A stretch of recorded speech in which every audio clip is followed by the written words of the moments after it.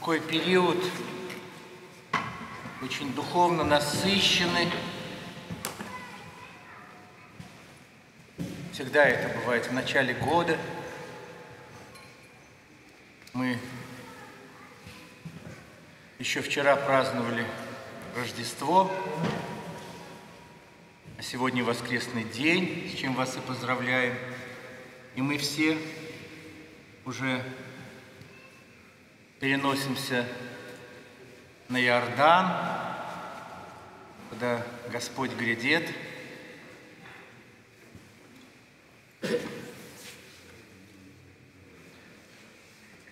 чтобы осветить воды этой земли, которые мутные, которые грязные от грехов людей.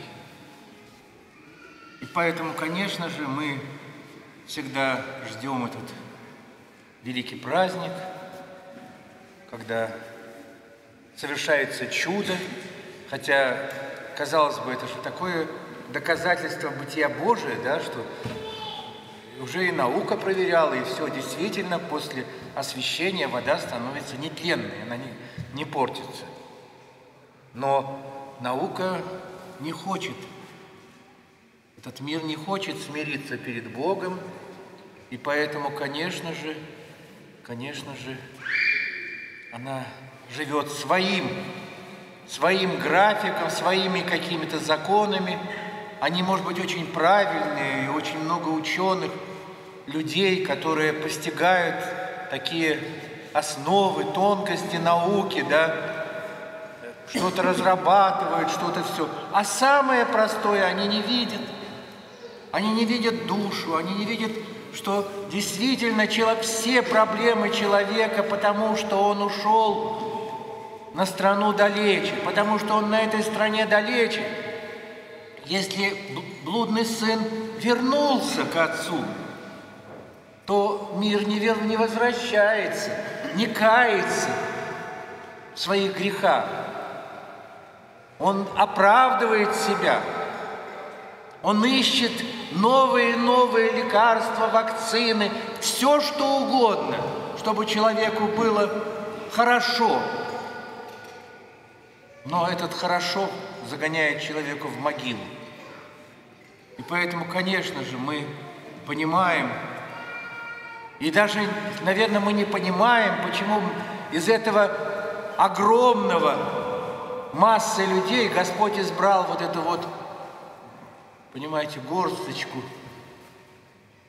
понимаете, которые знают, что такое жизнь, которые знают цену жизни, которые знают, для чего они живут, которые понимают вообще смысл своей жизни. А ведь основная масса людей вообще об этом не думает. Им все равно, лишь бы наесться, наспаться и нагуляться. Все, и все, все, вся любовь, больше ничего не надо. Ну а что, потом умрешь и зароют, и все. И все кончится. Да не кончится, конечно. Поэтому, конечно же, непонятно, почему Господь нас избрал. Почему на нашей земле стоит наша русская православная церковь. Почему мы становимся уже в этом временном мире причастниками новой вечной жизни. Мы не можем постигнуть промысел Божий, но это чудо. Понимаете, это чудо. У нас есть путь в новую жизнь. Он тяжелый, он в борьбе с грехом внутри себя, он с дьяволом, с этим миром, который нас не пускает, который нас отвлекает, который нас все время говорит, стой, куда ты идешь, посмотри.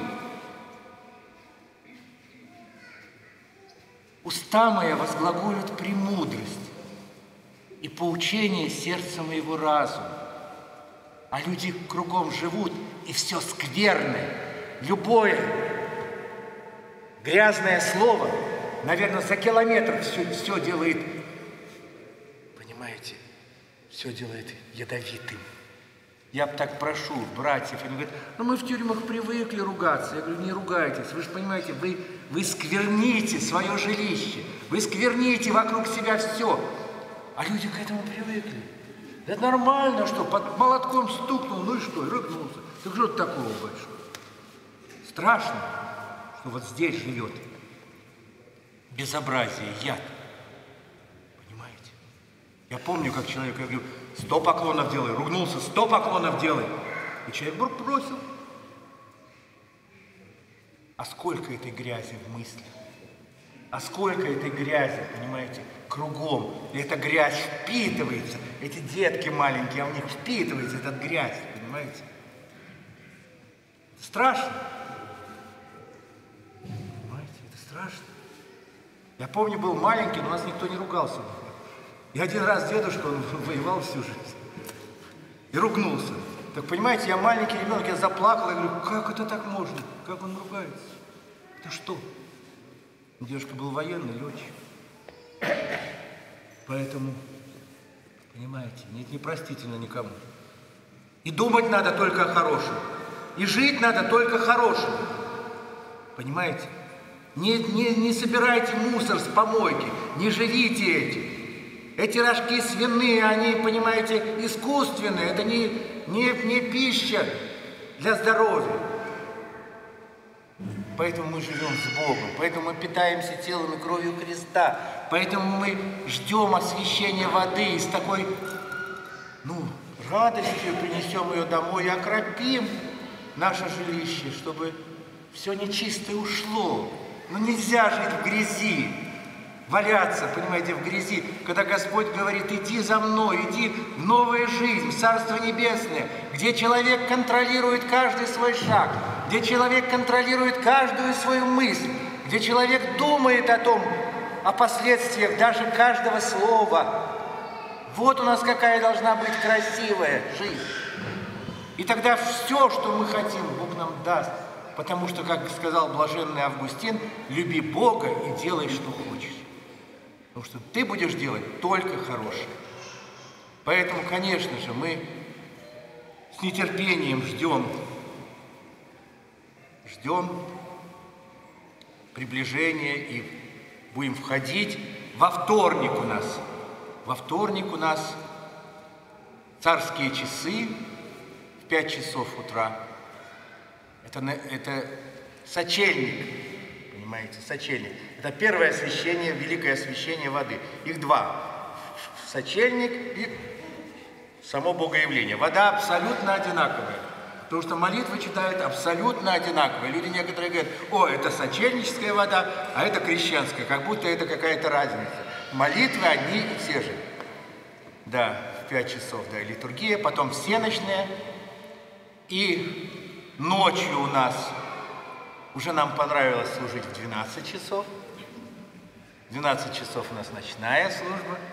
Потом у нас первая литургия в 7, вторая в 9, и 8 часов еще будет э, в шан... шанхайском э, литургия детская для школы.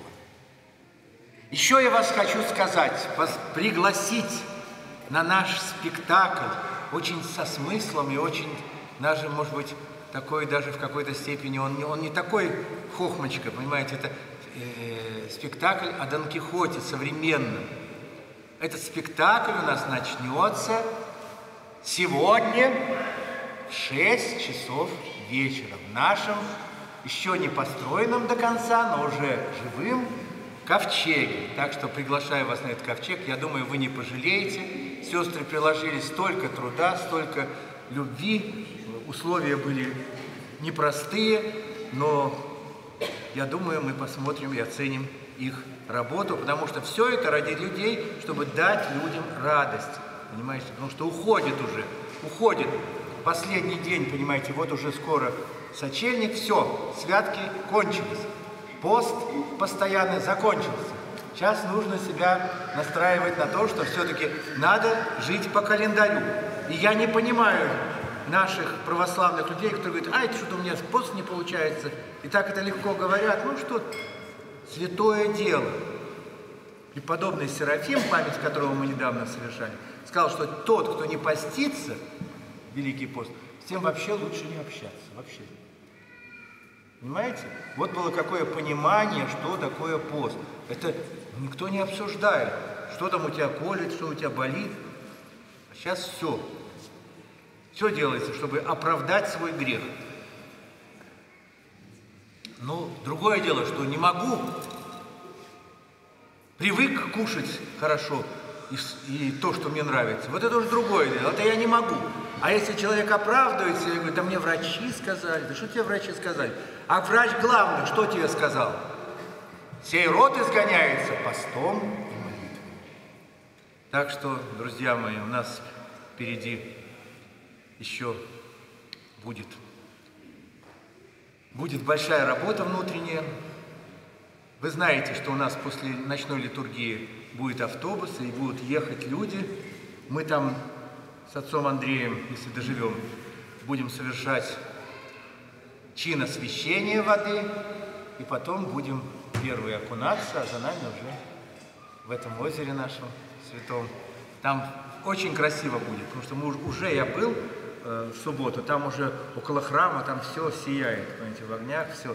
А, а там еще они уже вот сейчас готовят. Так что, если вы хотите, как бы, чтобы... Конечно, все, многие работают, вот в чем дело. Но мне кажется, можно ради Христа как-то дерзнуть и поехать, окунуться, а потом работать неплохо даже, может и лучше, чем я думаю, ну здесь, ну, главное, чтобы было дерзновение, главное, чтобы было, понимаете, если мы будем говорить, ой, я не могу, я уставший буду, а может быть после окунания вообще, я уже думаю, что вообще, может, у меня перестанет все болеть, а то как-то надоело, все болит, и уже еле инвалид, да. Но хочется жить еще дальше, вопреки тому, что внутри бывает очень непросто. Надо жить и доверять Богу, свою жизнь, и верить, что Господь нас не оставит, в каких бы обстоятельствах мы с вами не оказались. Потому что может быть наша молитва, вот представьте, может быть наша с вами общая молитва сохраняет весь мир от конечной гибели. Я вполне могу это предположить. Понимаете, какая ответственность на наш лишь? Что, может быть, вот уже все, нет смысла жить, потому что люди уже все. А вот собрались люди, для них нужен Христос, для них нужна любовь Божия. Потому что скудеет любовь, люди откажутся от любви, а у нас мы видим, что есть семьи, есть дети, это очень хорошо, и мы это, этому очень радуемся, и мы благодарим Бога. А вот когда уже перестанет быть любовь, наступит конец света.